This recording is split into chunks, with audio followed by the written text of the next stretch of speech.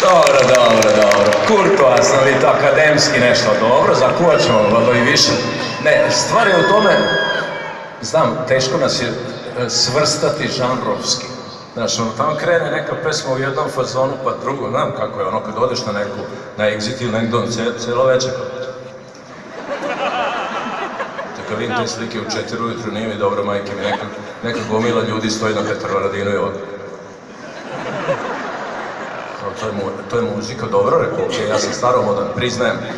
Teo sam da napravim jednu parodiju imao sam jednu davnu pesmu, moj stari friend ima rock and roll band, pa sam teo da napravim, ne toliko sta, dotle ipak nije došlo, ali onda sam teo da napravim moj mladi friend ima tamburaški band, a to je bio moj san da budem Zvonko Bogdan, ali... A jeste, stvarno Zvonko za mene uvijek bio to. I ovu pesmu prethodnu, malo pre koju smo izveli, ono, jedva da se sećam, to je za njega napisana prva strofa bila, nikad nije teo da pevamo, rekao je to je brzo, je to jako za mene. Majke mi bio u studiju i rekao je, kad smo krenuli, ja kažem ovo je za tebe, on kaže ti počni, pa rekao nemoj da ja počinjem, bio što da ti počneš i onda sam, baš sam mu reč po reč sricao, jedva da se sećam, to baš za njega ide. Da mislite ga s onom facu, da ne zvuči čene Nema drugog kec, jedan na jedan. Rekao, meni je to brzo i razumem ga. Razumem ga i meni su mnoge stvari brze. Gledam ove kvizove neke gde se javljaju, nisu normalni, majke mi, za, za 20 deka kafe se ubiju, evo te govore neke brojeve, otkrivaju, znaš, ono, 4, 2, 6, rekao, stani, evo, polako. Ne mogu da uhvatim taj ritam uopšte modernog vremena. Samo kad se neko javi moj iz ravnice i malo ih udavi, onda dođem nekako do sebe. Hoćete, hoćete se predstaviti? Oću. To rekao, sine.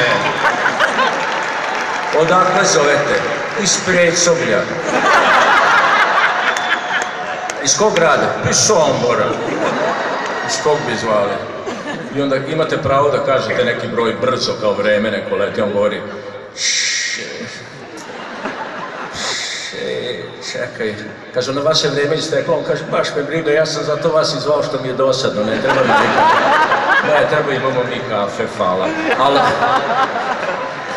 ali uglavnom, neću vas baviti Ni brige vas nije. Zato je meni bilo super kad sam se našao sa tamburašima, ovim mojim drugarima, prvi put kad smo nešto radili, namensku neku muziku.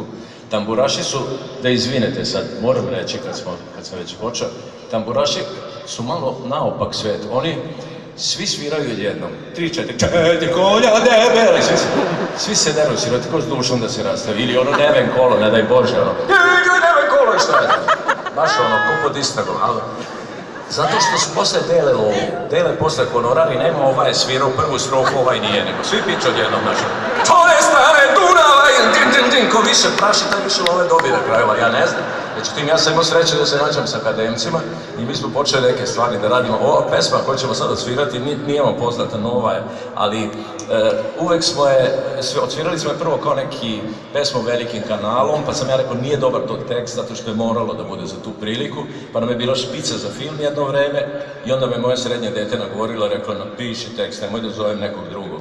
Ja sam rekao, ok, imamo tekstopisca u familiji i do kraja je ispala ta pesma. Možda se vrtela na Naksi radio ovih dana, zove se Mala Vidrac PG, ali da znate... Ej, Naksi radio je slušan ovdje, vidi, mi ne vatamo u Novom Sadu Naksi, šta da radimo? Od ovih planina mi ne možemo u Novom Sadu da uvatimo.